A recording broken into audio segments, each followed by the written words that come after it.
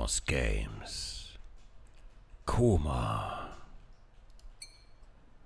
Und damit herzlich willkommen zu einem weiteren kleinen Mini-Let's Play. Wir spielen heute Koma und wie der Name schon verrät, spielen wir, naja, der Name verrät nicht, dass wir einen Protagonisten spielen, aber es ist wohl ein junger Mann, der ins Koma gefallen ist oder sich in der Welt des Koma befindet. Alles sieht hier noch sehr grau aus. Und wir spielen einmal auf dem Piano herum, was hier rumsteht.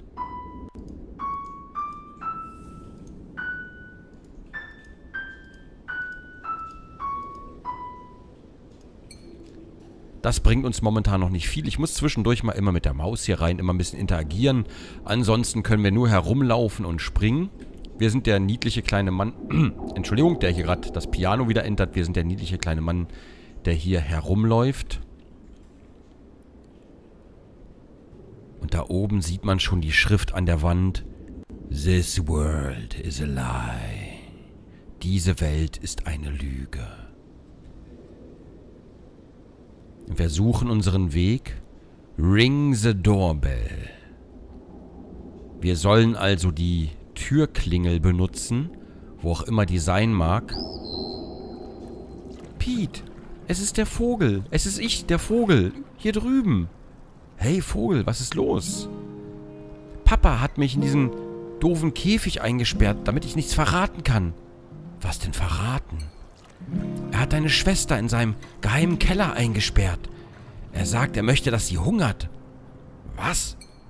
Ja, was immer du tust, sag ihm aber nicht, dass du es weißt, oder er wird dich auch dort einsperren. Und jetzt lass mich aus dem Käfig raus und wir können deine Schwester retten. Und wir haben den Vogel aus dem Käfig befreit. Der wird uns ab sofort durch die Welt des Komas begleiten. Und da ist auch schon unser Vater, der nichts davon wissen darf, dass wir von unserer Schwester Bescheid wissen. Und wir sind einfach, wir haben uns vorbeigeschlichen. Was glaubst du, wo du hingehst, mein Sohn? Nirgends. Na, dann mach dich mal nützlich und finde heraus, was äh, unser Rohr hinter dem Haus verstopft. Na klar. Wahrscheinlich ist es der fette Simon. Naja, um genau zu sein, ich weiß, dass er es ist. Okay. Gut, wir müssen gucken. Jetzt gibt es wohl irgendwo, kommen wir hier... Ich dachte mal, hier ist die Doorbell übrigens. Hier kommen wir jetzt nach oben. Moment. Das ist immer die schwierigste Stelle zum Springen, weil der da immer runtersegelt, links und rechts. Na, jetzt... Na, das... So, und jetzt kommen wir hier endlich auf die weiten Felder, die Redwind-Felder, die Rotwind-Felder. Hier liegt eine Orange. Eine atmende Orange. Hallo, mein Name ist John, aber ich bin ein Mädchen. Hey John. Also hör mal zu, Kumpel. Warst du schon jemals in Shill Bend? Nein, eigentlich nicht. Sie sagen, dass links dort rechts ist und rechts ist dort links. Aber das ist für dich bestimmt viel zu gruselig. Cool. Ja, da kommen wir vielleicht später auch noch hin. Jetzt springen wir hier erstmal über die Früchte. Schauen uns erstmal die Welt an. Huch. Hier muss man auch vorsichtig rüberspringen. Hopsa. Hey, du da unten, siehst du mich? Ja, ich sehe dich. Dann, das geht dich überhaupt nichts an. Ich bin nämlich der mächtige Gomboisa. Hau schon ab, jetzt. Na gut, dann gehen wir eben wieder. Der mächtige Gomboiser will uns offenbar nicht dabei haben beim Spielen. Der klebt an irgendeiner Frucht, an einer Schaukelfrucht. Und wir dürfen nicht mitspielen. Wir können uns hier nur so ein bisschen umgucken. Und da unten, hier kommen wir nicht weiter. Da unten, wie man sieht, da ist das Rohr. Und dort steckt auch jemand, wie es aussieht. Hilfe, Hilfe, ich, ich, ich stecke fest. Wie ist das denn passiert? Ist das nicht offensichtlich? Nee. Ich habe hyperinflationäre äh, Inflatulenz. Also, ich, äh, ich, nein, Inflat Flatulenz ist vielleicht falsch. Ich, äh, äh, ich, ich, ich, ich, ich puste mich von ganz alleine auf ab und zu mal. Ich weiß gar nicht warum. Oh, und was kann ich tun, um dir zu helfen? Hol mir irgendwann irgendein scharfes Ding. Einen anderen Weg geht's leider nicht. Okay. Wir sollen also... Dem Simon sollen wir ein irgendwas Scharfes... Huch, irgendwas Scharfes holen. Und das einzig Scharfe, was mir da jetzt einfällt, an das wir rankommen, ist natürlich der Angelhaken von unserem Papa, der uns belügen würde, wie der Vogel sagte. Hui. Der uns auch selber im Keller einsperren würde. Und so dunkel wie das Haus dort drüben ein aussieht, das würde ich ihm auch zumuten. Was hat denn die Rohre verstopft? Ach, das war nur Fetti Fettmann, der Simon wieder. Ah, pass mal auf, den Fetti Fettmann kannst du mit dem Angelhaken hier zerplatzen lassen. Na gut, das machen wir natürlich erstmal. Den Angelhaken lässt er jetzt runter und da müssen wir natürlich erstmal rankommen. Und da hat unser Vögelchen den schon geschnappt und mit dem Angelhaken. Da gehen wir zurück. Vorsicht. Ach, immer diese. Es ist immer die gleiche Stelle übrigens. So, jetzt können wir aber so, über die Rotwindfelder geht es zurück. An der atmenden Orange vorbei. Das Mädchen, das endlos Springseil springt, der Schatten eines Mädchens. Und hier an dessen Namen ich mir nicht merken kann, der Schaukler. Ein Vogelschwarm zieht vorbei und wir helfen Simon. Ist das ein Haken, den ich dort sehe? Ja, das ist ein Haken. Du musst mich einfach damit stechen. Drei, zwei, eins. Los, los, los. Oh, das tut gut. Dankeschön, mein Freund. Dankeschön. Ach, kein Problem. So, er ist geplatzt und die Rohre fließen wieder. Und jetzt können wir nämlich, wenn wir da unten gucken, Moment, wir können einmal links gucken, das gucken wir später. Da unten sehen wir, die Rohre gehen weiter. Wir können jetzt quasi, weil der dicke Simon geplatzt ist, können wir jetzt quasi da vorbeilaufen. Dann kommen jetzt hier einerseits raus, was uns aber nichts bringt. Oder wir können jetzt hier nach unten. In die Silberschute. Keine Ahnung, was es auf Deutsch heißt. Aber wir tauchen hinab in den Abgrund der Erde. Wach auf, Pete, wach auf. Hm, könntest du nicht das Lichtlein dort holen? fragt der Pete das Vögelchen und das Vögelchen versucht es natürlich, hops, und hat das Lichtlein. Wach auf, Pete. Wir müssen aus diesem Koma erwachen. Hier sehen wir fast gar nichts, da ist eine Blume. Aber sonst kommen wir hier nicht weiter. Aber wir können hier über die Äste laufen. Hops, hops, hops. So, vorbei an weiteren Blumen, hinab tiefer in die Erde, tiefer in die Erde. Bis zu einem riesigen, riesigen Wurm. Mit einem riesigen, gierigen Maul, das wir betreten. Leute, die Läute die Türglocke. Wir sollen die Türglocke läuten. Und da... Das sieht aus wie eine grüne Orange. Und schon kommen wir beim Wurm aus dem Arsch heraus. Eine, naja, schöne Sache, weiß ich nicht. Ausgeschissen zurück ins Koma. Und wenn man jetzt genau guckt, das finde ich ein sehr liebenswürdiges Detail. Wir haben das Wasser wieder zum Laufen gekriegt. Und dadurch läuft es auch hier wieder und treibt das kleine Rädelein an. Das kann uns aber gerade egal sein. Wir haben dieses merkwürdige orange Ding mitgenommen aus dem Untergrund, aus dem Wurm. Und dieses merkwürdige orange Ding hat eine ganz besondere Eigenart. Oh, es kann nicht springen. So, jetzt aber. Es zieht nämlich sämtliche Lianen in seiner Umgebung an. Das bringt uns hier noch nichts. Aber vielleicht ja bei der großen Liane hier. Hops. Und tatsächlich, da zieht es hier zu uns hin und wir können dorthin und abspringen. Weißt du, Pete, wir, wir, wir könnten umdrehen. Nein, ich bin so neugierig. Aber wir werden sterben. Ja, aber ich lieg doch sowieso schon im Koma. Das spielt doch fast keine Rolle mehr. dachte sich der kleine Pete und ging auf nach Shilbend, wo links rechts war und rechts war links. John hatte rechts. Äh, äh, John hatte recht. Rechts ist links und links ist rechts, was sich an der Steuerung bemerkbar macht, denn jetzt muss sie nach rechts steuern, um nach links zu gehen. Aber das heißt nicht, dass Richtiges falsch ist und Falsches richtig. Nun gut, wir kämpfen uns durch den Wald und hier sehen wir schon andere Seelen, die nicht so viel Glück hatten. Huch. Nein. Mist. Ich dachte, ich schaffe das. So, hops. Nein. Ach. Ist immer ein bisschen tricky.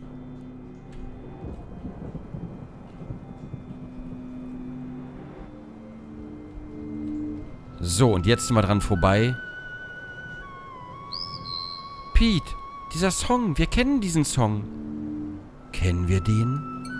Ja. Deine Schwester hat diesen Song immer wieder gesungen. Okay.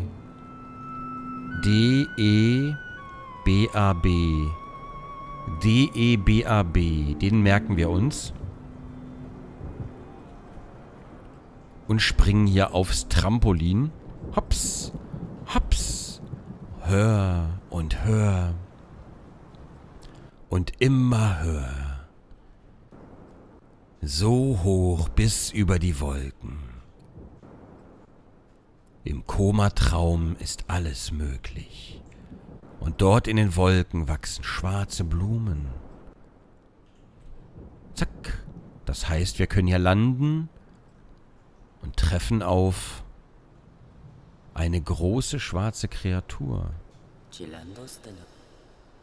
Oh, du hast Mama Gomgasser einen wahren Staat hingelegt. Du hast mein Herz geweckt. Wie ist dein Name, so dass wir ein Spiel spielen können? Mein Name ist Pete. Pete, ich habe auf dich gewartet. Wirklich? Ja, ja. Denn siehst du, deine Schwester möchte, dass ich dir sage, dass es ihr gut geht. Du, du hast mit ihr gesprochen? Ja. Ich sah sie, während sie spielte. Sie spielte mit meinem Sohn, Gomboiser, noch an diesem Morgen. Aber ich, ich dachte, sie wäre im, im, im Geheimkeller von meinem Vater. Nein, ihr geht es gut. Also, hör auf mit dem, was du gerade tust. Hör für immer damit auf und spiele mit Gomgossa Ball. und spiele Gomgossa Ball mit meinem Sohn Gomboisa. O okay? Was auch immer du tust, läute nicht die Türglocke. Siehe, sie ist ein schlechtes Omen. Und jetzt lauf davon, mein Kleiner. Okay. Wir sollen also nicht die Türglocke läuten, und unsere Schwester war diesen Morgen angeblich noch gesund und nicht krank im Basement des Vaters. Diese Frau ist doch, die ist doch eine Lügnerin, sagte der Vogel. Die Frage ist, lügt der Vogel oder lügt die Frau? Huch. So. D-E-B-A-B. Und wir sollen jetzt mit dem... Hier ist übrigens jetzt alles umgedreht wieder. Wir können jetzt hier ganz normal durchlaufen. Jetzt ist plötzlich alles umgekehrt. Und wir sollen jetzt mit dem Sohn spielen. Den haben wir schon kennengelernt. Der wollte ja nicht mit uns spielen. Vielleicht lässt er uns jetzt aber mitspielen. Huch. So, hier kommen wir runter wieder. Dann reisen wir abermals durch den Wurm. So, ist auch eine kleine Abkürzung, glaube ich. Ich bin mir gar nicht sicher. Doch, ich glaube schon. Wahrscheinlich nicht. Ist wahrscheinlich keine Abkürzung. So, schlups. Und wieder kommen wir beim Wurm aus dem Hintern heraus. Und gleich sind wir schon bei Gomboiser. Heißt der Gomboiser? Ich kann mir den Namen immer nicht merken. Hey, hey, Ich krieg die Stimme nicht mehr hin. hey, hey, lass uns spielen, spielen. Gomgosa-Ball? Natürlich, aber du brauchst die Springsamen, um zu spielen. Du musst sie essen und wirst leicht wie eine Feder. So essen wir die Samen. So, also, das Ziel des Spiels ist ganz simpel. Du musst auf die roten Früchte springen und fliegen und fliegen, davonfliegen. Es gibt noch andere Früchte in, im Rotwindfeld und einige davon, eine davon, sogar im Keller deines Vaters. Wir haben jetzt die Samen gegessen und können leicht wie eine Feder umherfliegen. Und er meinte, einer dieser, eine dieser Früchte befände sich sogar im Keller unseres Vaters. Und das wollen wir natürlich herausfinden, denn so wie wir jetzt fliegen können, leicht wie eine Feder, so kommen wir auch wieder nach oben, am Vater vorbei, zurück über die Brücke. Huch, sogar auf das Dach. Das wusste ich gar nicht. Hinter den Baum und wieder in die tristlose Einöde des eigenen Zuhauses. Doch inzwischen haben wir etwas gelernt. Das Lied, das unsere Schwester so gerne spielte.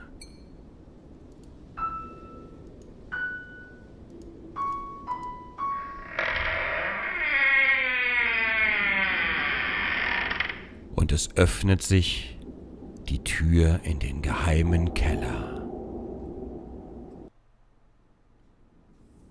Hm. Aber wo ist hier unsere Schwester? Pete, Ja? ich, ich habe gelogen. Oh nein. Der Vogel log. Unser treuer Freund log. Es gab keine Schwester hier. Es gab nur Dinge. Dinge, die wir sammeln konnten, die hier rumlagen. Ansonsten Schwärze, allumfassende Schwärze und kein Weg hinaus.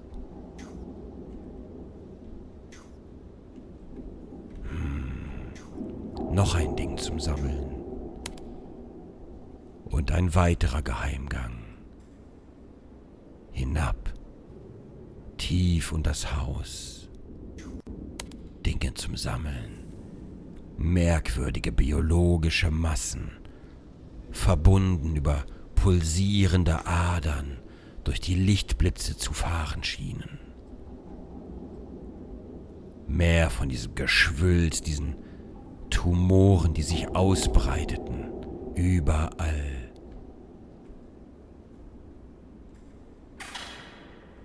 Die Brücke zerfiel und wir mit ihr. Ein letztes Ding zum Sammeln.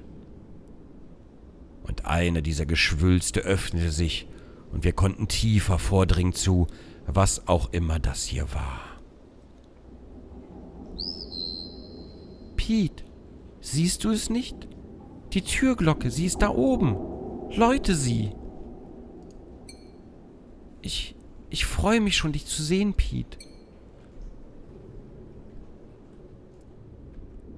Und dort in der Spiegelung steht ein kleiner Junge an Bord eines Bootes und es mutet an wie der Fluss Styx.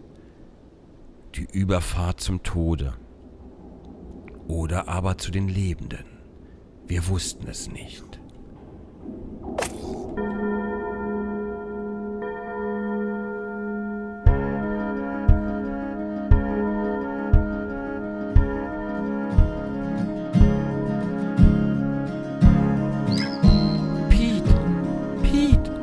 Deine Augen öffnen sich. Bald schon. Bald wirst du mich sehen.